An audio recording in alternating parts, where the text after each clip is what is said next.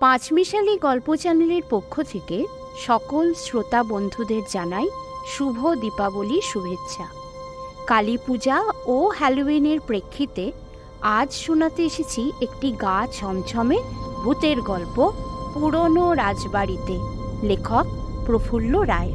চরিত্রায়নে রাহুল, তুষারকান্তি বন্ধু, আজিজ, স্বপন ও সুবলের ভূমিকায় ডক্টর অর্চ সেনগুপ্ত মণিপিসি ও গল্প পাঠে আমি মৌমিতা সেনগুপ্ত। তাহলে চলুন সকলে মিলে ভয় পেতে পেতে শুনি ভৌতিক গল্প পুরনো রাজবাড়িতে। শান্তনুদের বাড়ি থেকে বেরোতেই গরম বাতাসের ঝাপটা এসে লাগল রাহুলের চোখে মুখে। রোদে ঝাঁ ঝাঁ করছে চারিদিক। কবছর ধরে কলকাতার আবহাওয়া ভীষণ বদলে যাচ্ছে। গরম পড়তে না পড়তেই এখন লু বইতে থাকে। দিনের তাপ চল্লিশ বিয়াল্লিশ ডিগ্রি সেলসিয়াস পর্যন্ত চলে যায়। খবরের কাগজে এ নিয়ে আজকাল প্রায়ই লেখালেখি হচ্ছে। ঝোপঝাড় গাছপালা কেটে পুকুর আর জলা জায়গা বুঝিয়ে যেভাবে বিরাট বিরাট উঁচু বাড়ি উঠছে, তার ফলে নাকি গরমটা হঠাৎ এত বেড়ে গেছে। আর কিছুদিন এভাবে চললে মরুভূমির ক্লাইমেটের সঙ্গে কলকাতার আবহাওয়ার তফাত থাকবে না। সাউথ ক্যালকাটার এই পাড়াটার নাম কিয়াতলা। এমনিতে জায়গাটা ভারী শান্ত আর নিরিবিলি। কিন্তু এখন মে মাসের এই ভর দুপুরে রাস্তায় কোনো লোকজন নেই। চারপাশ একেবারে ফাঁকা। আগুনের মতন গনগনে রোদে কে আর বাইরে থাকবে? রাহুল, তেরো পেরিয়ে সবে চোদ্দই পা দিয়েছে। একটা বিখ্যাত ইংলিশ মিডিয়াম স্কুলে ক্লাস এইটে পড়ে। থাকে দেশপ্রিয় পার্কের কাছে বিপিন পাল রোডে। ওর বাবা একজন পুলিশ অফিসার। মা একটা হায়ার সেকেন্ডারি গার্লস স্কুলে অ্যাসিস্ট্যান্ট হেডমিস্ট্রেস। মা বাবার সে একমাত্র ছেলে, তার কোনো ভাই বোন নেই। শান্তনু রাহুলের সবচেয়ে প্রিয় বন্ধু। তারা এক স্কুলে একই ক্লাসে পড়ে। এই দুপুরবেলা কটা ক্যাসেট নেবার জন্য রাহুল কেয়াতলায় এসেছিল। শান্তনুর বাবা একটা নাম করা ইংলিশ ডেইলির স্পোর্টস এডিটর। সারা দেশের মানুষ যারা খেলাধুলো ভালোবাসে, তারা সবাই পরমেশ স্যান্ডালকে চেনে। স্পোর্টস নিয়ে কাগজে তো নিয়মিত লেখেনি। ফুটবল বা ক্রিকেটের বড় বড় টুর্নামেন্টের সময় রানিং কমেন্টারি বা ধারা বিবরণী দিয়ে থাকেন। বলেন চমৎকার। সেজন্য তার ফ্যানও প্রচুর। পরমেশ মিশর বিরাট একটা লাইব্রেরি আছে। স্পোর্টসের অসংখ্য বই, ম্যাগাজিন আর ক্যাসেটে সেটা ঠাসা। ফুটবল, ক্রিকেট, অ্যাথলেটিক্সের যত বড় বড় ইভেন্ট সারা পৃথিবী জুড়ে হয়েছে, তার সমস্ত ক্যাসেট এখানে পাওয়া যাবে। আর আছে অগন্তি ফটোর অ্যালবাম। কে নেই সেখানে? ক্রিকেটে হ্যামন লাডুর থেকে বথাম ওরেলউইক সোভার্স থেকে ব্র্যান্ড নারা ব্র্যাডম্যান থেকে বুন হ্যাডলি মার্চেন্ট মানফর থেকে সচিন তেন্ডুলকার ফুটবলে পেলে গ্যারিঞ্চা থেকে রুটগুলির মার্কো ভ্যান বাস্টেন পর্যন্ত সকলের ছবি যত্ন করে সাজিয়ে রাখা হয়েছে। তাছাড়া আছে বুক্কা ক্রিস লুইস, ক্রিস্টিন অটো থেকে ম্যাজিক জনসন, জ্যাকি জয়নার পর্যন্ত সবাই। রাহুল ফুটবলার ক্রিকেটের পোকা। কে কটা সেঞ্চুরি করেছে? কে ওয়ার্ল্ড কাপে কটা গোল করেছে? কে দশ সেকেন্ডের নিচে একশো মিটার দৌড়ে রেকর্ড করেছে? সব তার মুখস্থ। তাদের স্কুলের ফুটবল আর ক্রিকেট টিমে প্রথম এগারো জনের মধ্যে তার জায়গাটা একেবারে পাকা। অবশ্য শান্তনুও থাকে ফার্স্ট ইলেভেনে পরমেশ খুবই পছন্দ করেন রাহুলকে। তিনি ঢালাও পারমিশন দিয়ে রেখেছেন যখন ইচ্ছে যে কোনো ক্যাসেট বা বই সে নিয়ে যেতে পারে। সাত দিন হলো গরমের ছুটি পড়েছে। আর ছুটিটা পড়তে না পড়তেই শান্তনুরা দিল্লি চলে গেছে। সেখানেও ছোট কাকার কাছে থাকেন ও ঠাকুমা। তিনি হঠাৎ ভীষণ অসুস্থ হয়ে পড়েছেন। খবরটা আসতেই সবাইকে ছুটতে হয়েছে। কবে ফিরবে ঠিক নেই। কিয়াতলার বাড়িতে পড়ে আছি কাজের লোকেরা আর শান্তনুর বিধবা পিসি মণিমালা। গরমের ছুটিটা কীভাবে কাটাবে, দুই বন্ধু আগের থেকে তার নানা রকম প্ল্যান করে রেখেছিল। কিন্তু শান্তনু ঠাকুমার অসুখ হওয়ায় সব গোলমাল হয়ে গেল। সময়, বিশেষ করে দুপুরটা এখন আর কাটতে চায় না রাহুলের।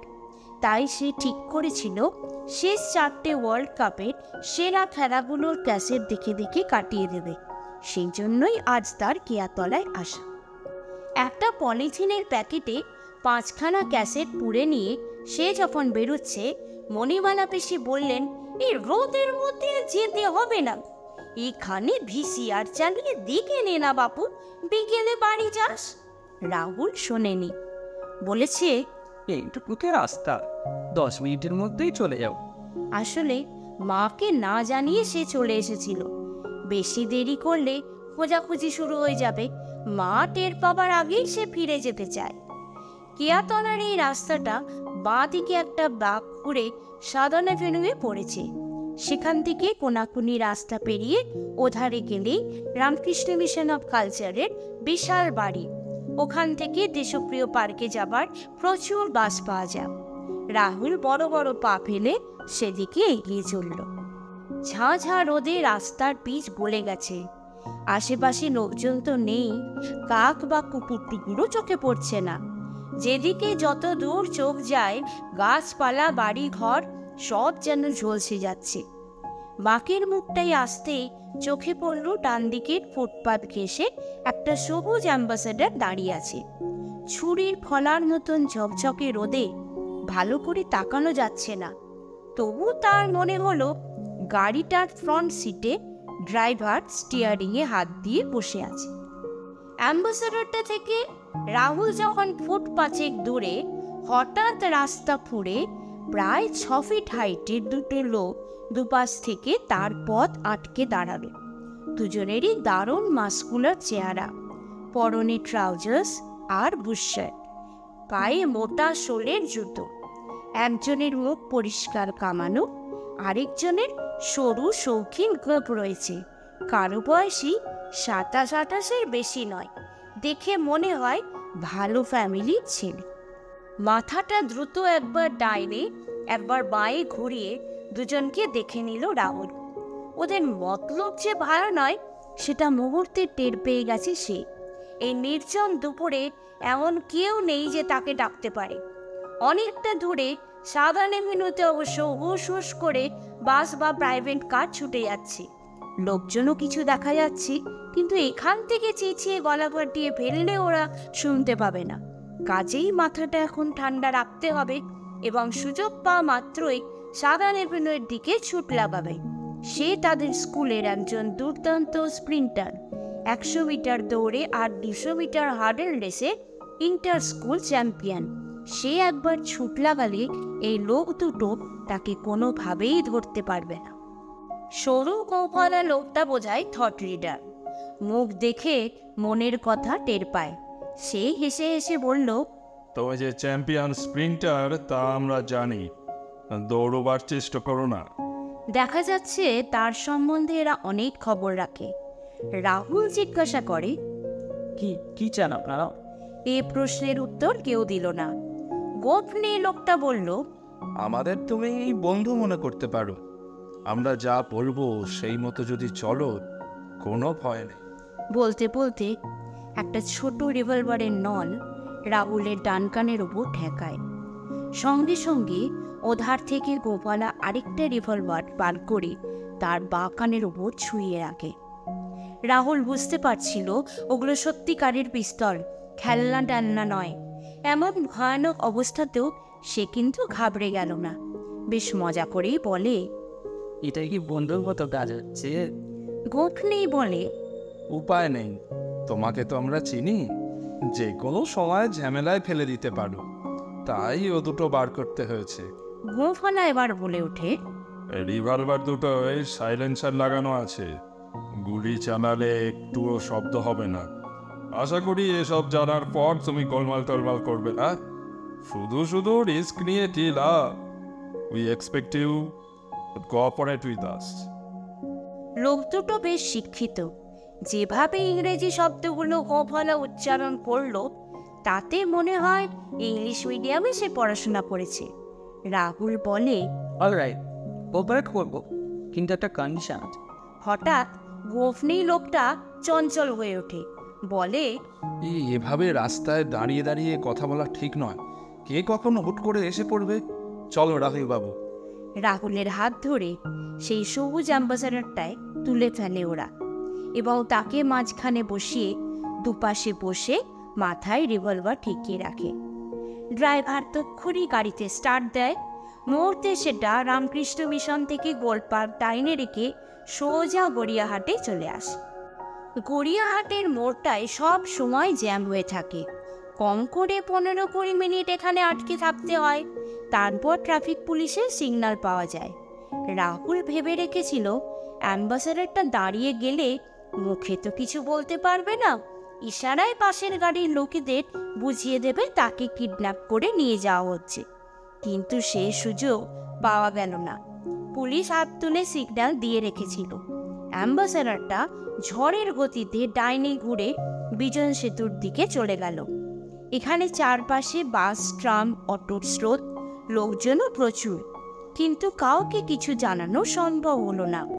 অসহায়ের মতন মুখ বুঝে বসে থাকতে হল। গাড়িতে ওঠার পর গোফালা আর গোফনি টু শব্দও করেনি।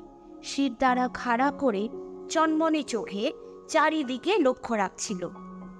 কসবা পেরোবার পর, ইস্টার্ন মেট্রোপলিটন বাইপাসে আসার পর লোক দুটোর দুর্ভাবনা অনেকটা কমে গেল যেন। সিটের পেছন দিকে আরাম করে হেলান দিয়ে বসল তারা। কেননা এদিকটা একেবারে ফাঁকা। দূরে দূরে গভর্নমেন্টের হাউজিং স্কিমের একই রকম চেহারার অনেক বাড়িটারি চোখে পড়ে। দুধারের মাঠে গরু আর ছাগল চড়ছে তবে মানুষ টানুষ নেই। উল্টো দিক থেকে প্রচণ্ড স্পিড তুলে এক একটা প্রাইভেট কার সাঁ সাঁ করে বেরিয়ে যাচ্ছে। গোফনে এবার বলে হ্যাঁ কন্ডিশনের কথা কি যেন বলছিলে? রাহুল বলে আমার সঙ্গে খারাপ ব্যবহার করলে কিন্তু চলবে আরে না না তোমার মতো ইন্টেলিজেন্ট ভালো ছেলের সঙ্গে কখনো খারাপ ব্যবহার করা যায়? আমরা তোমার কোনো ক্ষতি করব না। থ্যাঙ্কস কিন্তু কে? আপনারা আমাকে কোথায় নিয়ে চলেছে সেটা তো এক্ষুনি বলা যাবে না। একটু চুপচাপ। তারপরে রাহুল জিজ্ঞাসা করে এই যে আমাকে নিয়ে যাচ্ছেন টুন করতে চান? দুজনেই এবার ভীষণ ম্রিয়মান হয়ে পড়ে। গোপালা কাতর গলায় বলে তুমি আমাদের ফ্রেন্ড তোমাকে আমরা মার্ডার করব? এমন কথা মুখ থেকে বার করতে পারলে ঠিক আছে ঠিক আছে উজ্জ্ব করছি। তবে কি আমাকে কোথাও আটকে রাখতে চান? আটকে রাখব মানে? তুমি আমাদের একজন লাভেবল গেস্ট কিছুদিন আমাদের কাছে থাকবে। কদিন? দেন ডিপেন্ডস বুঝতে না পেরে রাহুল একবার গোফলা একবার গোফ নেই এদের দুজনের দিকেই তাকায়। এবার গোফলা বলে আসল ব্যাপারটা নির্ভর করছে তোমার বাবার ওপর। তিনি যদি আমাদের কথায় রাজি হন দু তিন দিনের ভেতর বাড়ি ফিরে যাবে। তিনি যদি দেরি করেন তবে তোমার ফেরাটাও দেরি হবে। কিছুক্ষণ চিন্তা করে নিল রাহুল তারপর বলল বাবার কাছে আপনারা কি চান? টাকা? গোফ নেই যেন ভীষণ লজ্জা পেয়েছে এমন ভাব করে জিভ কাটে। বলে ছি ছি ছি ছি তোমার জন্য র্যানসাম চাইব? আমাদের এত খারাপ ভেবো না। র্যানসন কথাটার মানে যে মুক্তিপণ তা জানে রাহুল। সে বেশ অবাকই হয়। এই ধরনের লোকেরা টাকা আদায়ের জন্য ছেলে মেয়ে চুরি করে নিয়ে যায় কিন্তু এরা টাকা চায় না। রাহুল জিজ্ঞেস করে তাহলে? গোফলা বলে তোমাকে সোজাসুজি বলা যাক তোমার বাবা তো একজন বিরাট পুলিশ অফিসার। এবার আর অবাক হয় না রাহুল। তাদের সম্বন্ধে সব খবর জোগাড় করেই গোফলারা তাকে কিডন্যাপ করেছে। সে আস্তে আস্তে মাথা নাড়ে। গোফলা বল- পরশু উনি আমাদের কজন বন্ধুকে অ্যারেস্ট করেছেন। ওদের ছেড়ে দেবার ব্যবস্থা করলেই তুমি বাড়ি পৌঁছে যাবে। সেই কটা দিন শুধু তোমাকে আমাদের কাছে থাকতে হবে। এবার রাহুলের মনে পড়ে যায় সত্যিই পরশু বাবা তার ডিপার্টমেন্টের কজন জুনিয়র অফিসারকে নিয়ে এক দল ব্যাংক ডাকাতকে ধরেছিলেন। কাগজে সেই খবর বেশ বড় করে বেরিয়েছে। গোপালাদের মতলব হলো তাকে আটকে রেখে ওদের পুলিশের হাত থেকে বের করে আনা। রাহুল কি বলবে ভেবে পায় না। গোফ নেই বলে ওঠে। এ ব্যাপারে বন্ধু হিসেবে তোমার কাছে আমরা একটু সাহায্য চাই। রাহুল জিজ্ঞাসা করে কি সাজ আমরা তোমাকে যেখানে নিয়ে যাচ্ছি সেখানে টেলিফোন আছে। ফোন করে বাবাকে বলবে, উনি যেন আমাদের বন্ধুদের ছেড়ে দেন। বাবা হয়তো মনে করতে পারেন, তোমার মতো গলা করে অন্য কেউ কথা বলছে। তাই একটা চিঠিও লিখে দেবে, সেটা আমরা ওর কাছে পৌঁছে দেব। এখন আপত্তি করলে বা রাজি না হলে গোফালা নিশ্চয়ই খুশি হবে না। ওদের চটিয়ে দেওয়াটা বুদ্ধিমানের কাজ নয়। কোথায় ওরা নিয়ে যাচ্ছে, কখন সেখানে পৌঁছতে পারবে, জানা নেই। তবু ভাবার মতন খানিকটা সময় নিশ্চয়ই সে পাচ্ছে। পরে ঠিক করে নেবে কি করবে আর করবে না। এখন ওদের কথায় সায় দেওয়াই ভালো। রাহুল বলে ঠিক আছে। মেনি থ্যাঙ্কস নেই এবার ড্রাইভারকে জিজ্ঞাসা করে। আসানগঞ্জের কাছে কখন পৌঁছতে পারবে? লোকটা মুখ না ফিরিয়ে উত্তর দেয় এবার গোফনি রাহুলকে বলে আমরা আসামগঞ্জ বলে একটা জায়গায় পৌঁছে তোমাকে একটু কষ্ট দেব। ভেতরে ভেতরে বেশ ঘাবড়ে যায় রাহুল। অবশ্য লোক দুটোকে তা বুঝতে দেয় না বলে কীরকম কষ্ট?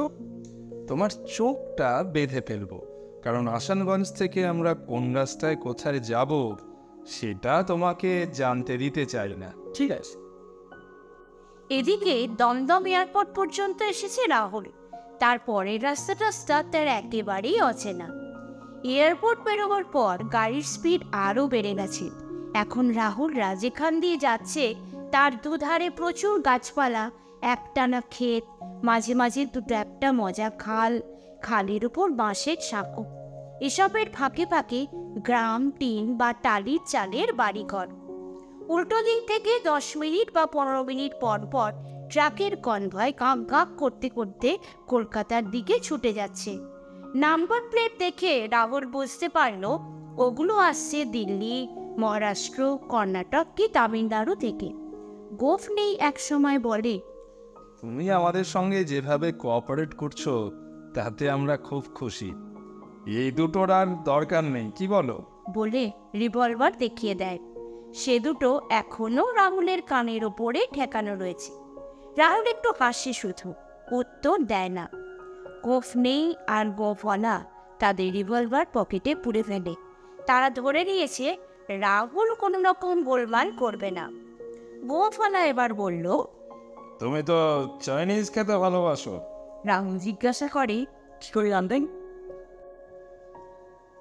উত্তর না দিয়ে গোফওয়ালা বলে তুমি আর তোমার বন্ধু শান্তনু মাঝে মাঝে তো ল্যান্সডাউন রোডে সাংহাই রেস্তোরাঁয় খেতে যাও।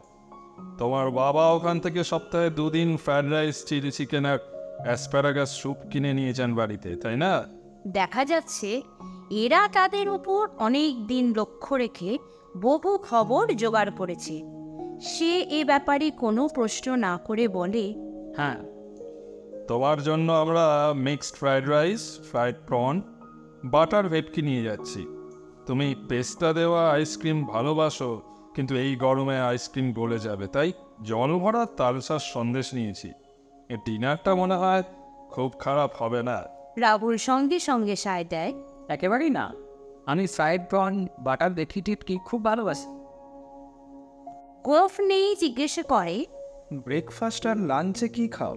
রাহুল বলে আপনারা এত খবর রাখেন না এটা জানেন না? গোফ নেই একটু থতিয়ে যায়।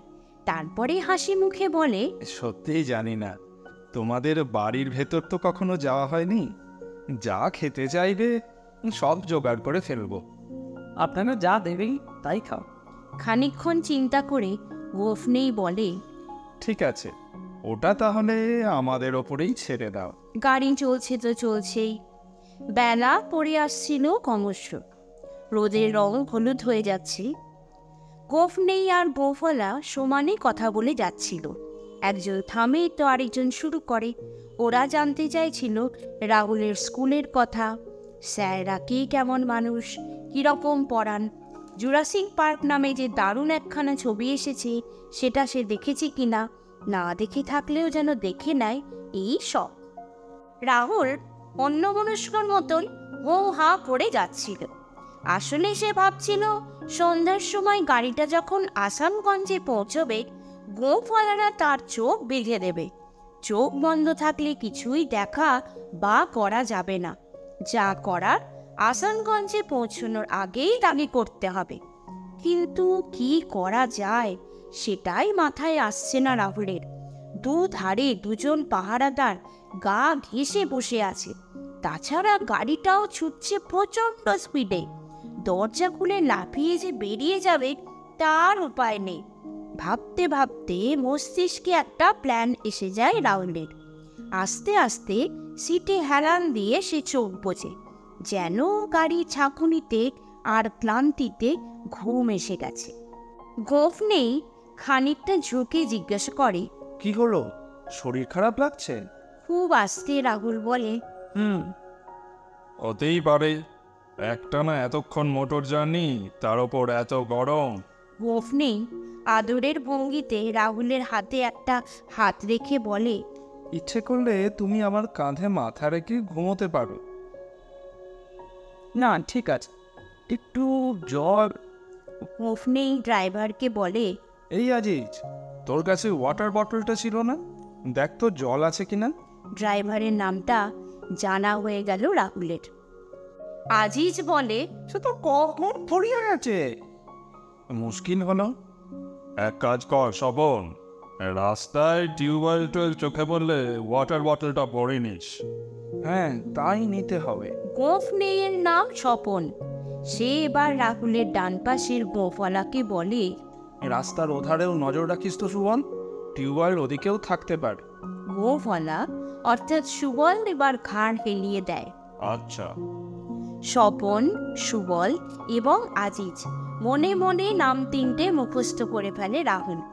আরও অনেকটা যাবার পর সূর্য যখন ডুবে যাচ্ছে পশ্চিম দিকে গাছপালার মাথা শেষ ব্যানার রোদে লাল হয়ে উঠেছে সেই সময় স্বপন চেঁচিয়ে ওঠে। আজিজ আজিজ গাড়ি থামা গাড়ি থামা সবুজ অ্যাম্বাসাডার দুরন্ত গতিতে ছুটতে ছুটতে শব্দ করে থেমে যায়।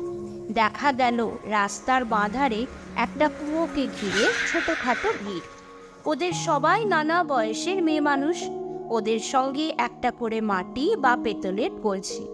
একজন দড়ি টেনে টেনে কুয়ো থেকে জল তুলছে, অন্যরা অপেক্ষা করছে। কাছাকাছি কোথাও নিশ্চয়ই গ্রাম আছে। ওরা সেখান থেকে জল নিতে এসেছে। স্বপন বলে রাহুল বাবু তোমরা একটু ওয়েট করো। আমি কুয়ো থেকে জল নিয়ে আসি। রাহুল সাড়া দেয় না। যেন ঘুমিয়ে পড়েছে, এমন ভাব করে কাত হয়ে থাকে। স্বপন আজিজের ওয়াটার বটলটা হাতে ঝুটিয়ে কুয়োর দিকে চলে যায়। রাহুল মনে মনে ভেবে নেয়, জল নিয়ে স্বপনের ফিরে আসতে মিনিট পাঁচেকের বেশি লাগবে না। সময়টা খুব দামি। যা করার এর মধ্যেই করে ফেলতে হবে। আস্তে আস্তে ডান দিকে ফিরে চোখের পাতা অল্প একটু খুলে রাহুল দেখতে পায়। সুবল জানলার বাইরে তাকিয়ে তাকিয়ে সিগারেট খাচ্ছে আর আজিজ খুব মন দিয়ে উইন্ডস্ক্রিনের ওধারে পিজানো দেখছে। দুজনের কারও তার দিকে লক্ষ্য নেই। এর চেয়ে ভালো সুযোগ আর পাওয়া যাবে না। নিঃশব্দে সে ওধারের দরজা দিয়ে নেমে যায়। কুয়োর দিকে যাওয়াটা নিরাপদ নয়। সেখানে স্বপন রয়েছে। রাহুল সবুজ অ্যাম্বাসাডার। আর স্বপনের ওপর চোখ রেখে সাবধানে উল্টো দিকে কয়েক পা গিয়ে ছুটতে শুরু করে। এদিকটায় বাড়ি, ঘর, গ্রাম, ট্রাম কিচ্ছু নেই। জায়গাটাও সমতল নয়, উঁচু নিচু। যতদূর চোখ যায় ঢেউ খেলানো ফাঁকা মাঠ আর মাঝে মাঝে ঝোপঝাড় ছুটতে ছুটতে রাহুল ভাবল, সবার আগে স্বপনদের চোখের আড়ালে যাওয়া দরকার।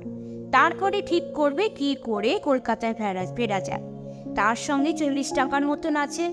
বাস বা ট্রেন যাই পাওয়া যাক, ওই টাকায় কলকাতার টিকিট হয়ে যাবে। শুধু আফসোস হচ্ছে, শান্তনুদের সেই ক্যাসেটগুলো গাড়িতেই পড়ে রইল।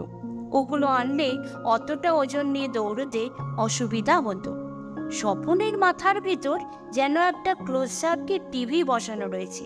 হঠাৎ কোথায় বুঝতে পারে রাহুল গাড়ির ভেতর নেই। দ্রুত ঘুরে দাঁড়ায় সে।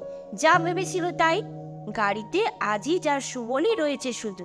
বিদ্যুৎ গতিতে স্বপন অ্যাম্বাসাডারটার কাছে চলে আসে। চিৎকার করে বলে ইডিয়েটস ছেলেটা ভাগলো আর তোরা এখানে হাত ধরে বসে আছিস? বেরিয়ে বেরিয়ে কই? ওকে খুঁজে বার করতেই হবে। নইলে ভীষণ বিপদ। আজই যার সুবল গাড়ি থেকে লাফিয়ে নেমে পড়ে। এধার ওধার তাকিয়ে অনেক দূরে ওরা একটা ছোটখাটো টিলার মাথায় রাহুলকে দেখতে পায়। সঙ্গে সঙ্গে শিকারি কুকুরের মতন সেদিকে ছুটতে থাকে। রাহুল দৌড়তে দৌড়তে মাঝে মাঝে পেছন ফিরে তাকাচ্ছিল। সে স্বপনদের দেখতে পেয়েছে, যদিও তাদের মধ্যে তিন চারশো গজের দূরত্ব আর সে নিজে চ্যাম্পিয়ন স্প্রিন্টার, তবু ছোটার গতি আরও বাড়িয়ে দেয়। রুক্ষ পাথুরে মাটির ওপর দিয়ে হরিণের মতন যেন উড়ে যাচ্ছে রাহুল। সে জানে এই জন্মে তাকে ধরা স্বপনদের পক্ষে সম্ভব নয়। তবে একটাই ভয়, ওরা যদি পেছন থেকে গুলি টুলি ছুঁড়ে বসে। অবশ্য অত দূর থেকে ছুটন্দ অবস্থায় টার্গেটে গুলি লাগানো সহজ না। প্রায় দু কিলোমিটার দৌড়ানোর পর খানিকটা দূরে একটা নদী চোখে পড়ল। নদীটা এক সময় বিরাট ছিল, কিন্তু দুধারে খাত অনেকটা শুকিয়ে গেছে। মাঝখানে পঞ্চাশ গজের মতন সরু জলের ধারা। সেখানে স্রোত আছে কি নেই? নদীটার এপারে ওপারে অসংখ্য বক মৌনি বাবাদের মতন চুপচাপ বসে আছে। রাহুল থমকে দাঁড়িয়ে যায়। তারপর পলকের জন্য ঘুরে তাকাতেই চমকে ওঠে। স্বপনরা তার পিছু ছাড়েনি। মাঝখানের দূরত্বটা সেই তিন চারশো গজের মতনই রয়ে গেছে। তবে আগে তিনজন একসঙ্গে প্রায় গায়ে গা ঠেকিয়ে আসছিল। এখন তারা কৌশলটা পাল্টে ফেলেছে। স্বপন আসছে অনেকটা ঘুরে ডান দিক থেকে, আজিজ বাঁ দিক থেকে আর সুবল সোজাসুজি। তার মানে নদীর দিকে যাওয়া ছাড়া উপায় নেই। রাহুল তপ্তর করে নেমে যায়। সে খুব ভালো সাঁতার জানে। অ্যান্ডারসন ক্লাবে ছোটবেলা থেকে শিখে আসছে। কিন্তু তার দরকার হলো না। নদীতে জল মোটে কোমর সমান। রাহুলকে দৌড়ে আসতে দেখে বকেরা কক কক আওয়াজ করে ডানা ঝাপটাতে ঝাপটাতে উড়ে যেতে লাগল। নদী পেরিয়ে ওপারে উঠে সিকি কিলোমিটার যেতেই পাতলা জঙ্গল। সেটা পার হলেই মস্ত একটা টিলা।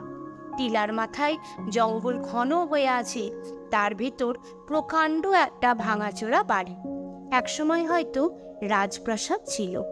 টিলায় উঠে আবার পেছন ফেরে রাহুল। স্বপনরাও এখনও তারা পড়ে আসছে। এদিকে সূর্য প্রায় ডুবে গেছে। আবছা অন্ধকার নামতে শুরু করেছে চারদিকে। রাজবাড়িতে ঢোকা ছাড়া উপায় নেই রাহুলের জঙ্গল ঠেলে আরও কিছুটা যাবার পর বিশাল গেট। লোহার পান্না কবেই ভেঙে গেছে? পাশের নহবতখানার একই হান। রাহুলের পায়ের শব্দে শুকনো পাতার ওপর দিয়ে সরসর করে গিরগিটি আর নানা ধরনের পোকামাকড় ছুটে যেতে লাগলে। কোথায় যেন তিন চারটি তক্ষক ডেকে উঠল রাহুল রাজবাড়িতে ঢুকে পড়ে। আপাতত এখানে তাকে লুকিয়ে থাকতে হবে। তারপর ঠান্ডা মাথায় ভাববে কি করে স্বপনদের চোখে ধুলো দিয়ে কলকাতায় পৌঁছানো যায়। গেট পেরুতেই অনেকটা ফাঁকা জায়গা। বোঝা যায় সেখানে একসময় বাগান ছিল। এখন শুধুই আগাছা তার ভেতর পাথরের তৈরি অনেকগুলি হাত পা ভাঙা পড়ি মাথা থুবড়ে পড়ে আছে। একটা মস্ত ফোয়ারাও দেখা গেল, তবে সেটা আস্ত নেই। পরিগুলোর মতোই তার হাল। আগাছার ভেতর দিয়ে এগোলেই চওড়া চওড়া অনেকগুলো সে পাথরের সিঁড়ি। সিঁড়ি ভেঙে একতলার একটা প্রচণ্ড বড় হল ঘরে চলে আসে রাহুল। মেঝেতে এক ফুট পুরু ধুলোবালি জমে আছে। হলটাকে ঘিরে দশ বারোটা ঘর, কিন্তু কোনোটারই দরজা জানলা নেই। সব হা হা করছে। না, এখানে লুকিয়ে থাকা যাবে না। স্বপনরা ঠিক ধরে ফেলবে। হলের ডান দিক দিয়ে দোতলায় যাবার সিঁড়ি। সিঁড়ি ভেঙে তত্তর করে ওপরে উঠে যায় রাহুল। দোতলাটা ঠিক নিচের তলার মতন। বিরাট হল ঘিরে এখানেও অনেকগুলো ঘর, কিন্তু সেগুলোরও দরজা জানলা কবেই লোপাট হয়ে গেছে। রাহুল এমনিতে খুব সাহসী ছেলে কিন্তু এখন একেবারে দিশে হারা হয়ে পড়ে। কি করবে কোথায় লুকোবে যখন ঠিক করতে পারছে না সেই সময় চাপা ঘষা ঘষা গলায় কে যেন বলে ওঠে। ওখানে ডান পাশে সিঁড়ি আছে সোজা ছাদে চলে যা। রাহুল চমকে ওঠে তার সারা গায়ে কাঁটা দেয়।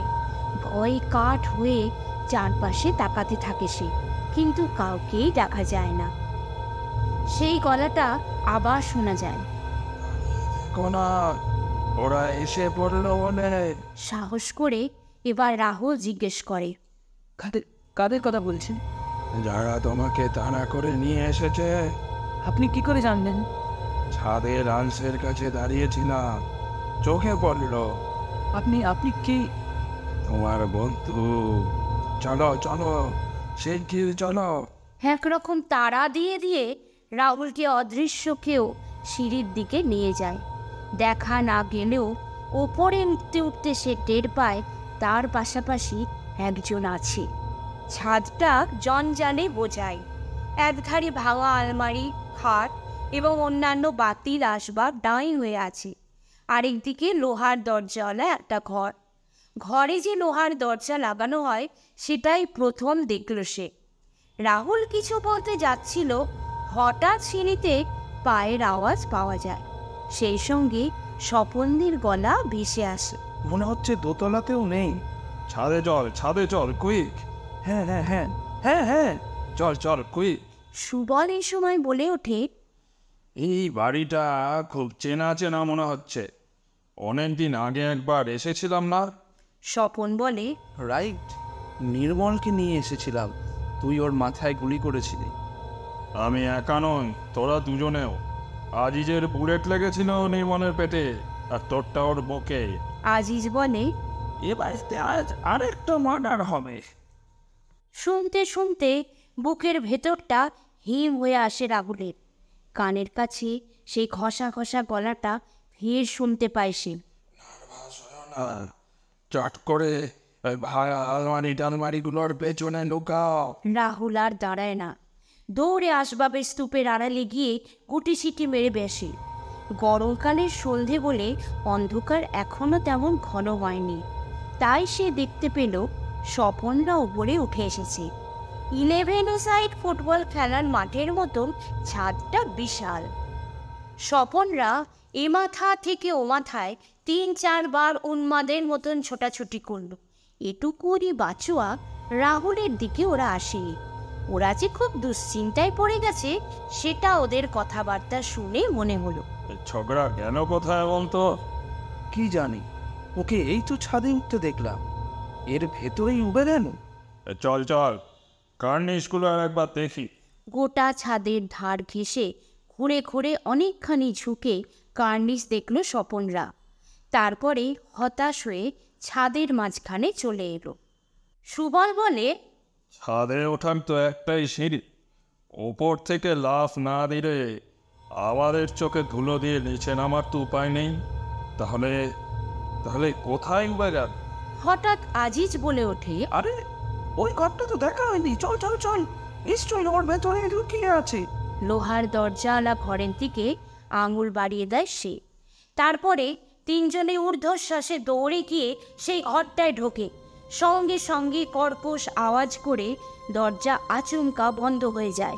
রাহুলের মনে হলো কেউ যেন বাইরে থেকে জোর করে পাল্লা দিয়ে আটকে দিয়ে শেকল তুলে দিল। স্বপনদের চিৎকার ভেসে আসে। কে কে কে? কে দরজা বন্ধ করল? খোল খোল! ওরা ভীষণ ভয় পেয়ে গেছে। চেঁচাতে চেঁচাতে পাগলের মতন তারা দরজায় এলো পাথারি লাথি মেরে চলেছে। কিন্তু কেউ সাড়া দিল না।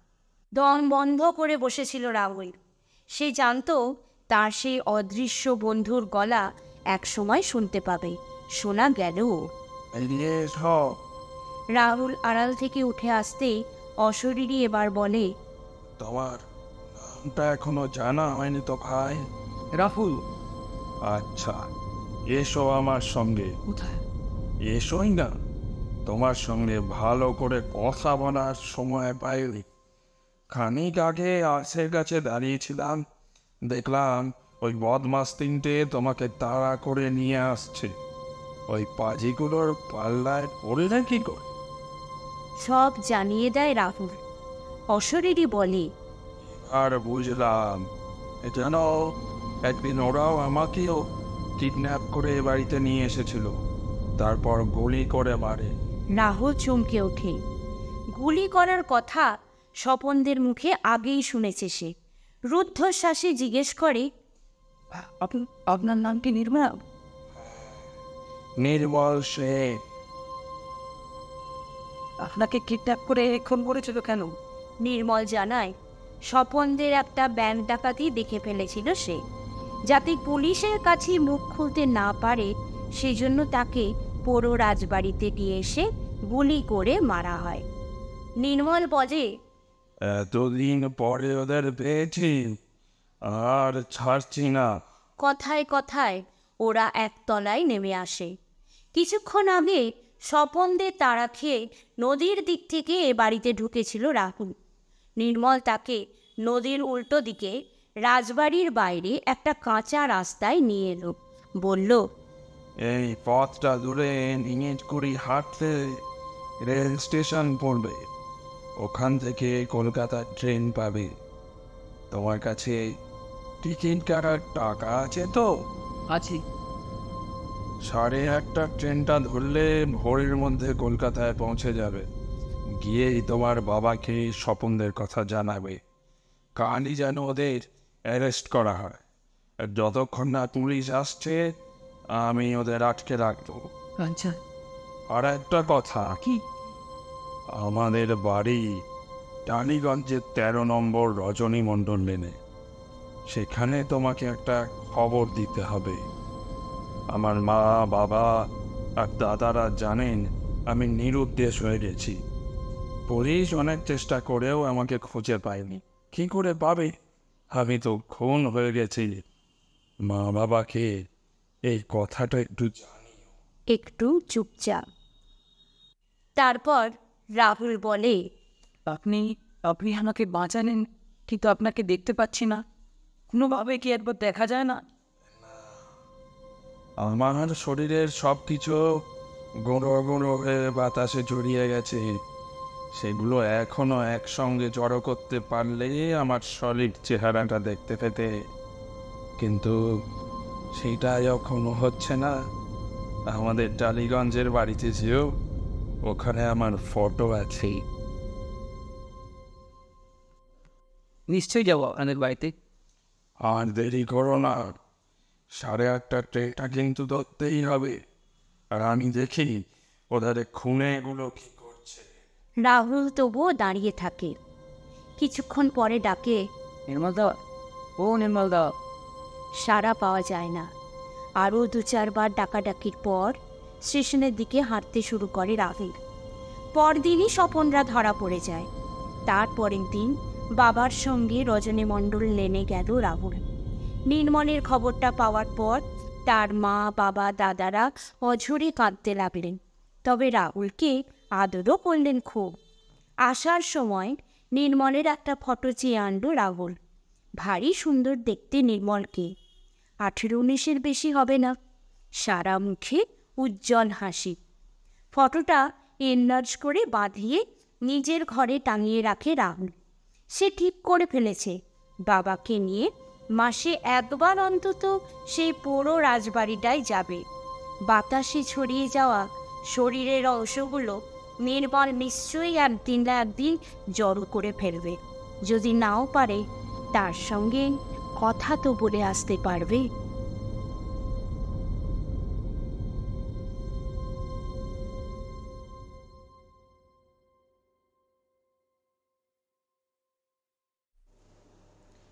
আজকের গল্প এখানেই শেষ হলো। আপনাদের কেমন লাগল কমেন্ট বক্সে জানাতে ভুলবেন না কিন্তু। আর ভালো লাগলে লাইক শেয়ার আর সাবস্ক্রাইব করে দেবেন। ভালো থাকবেন সবাই। আবার ফিরছি আগামী সপ্তাহে।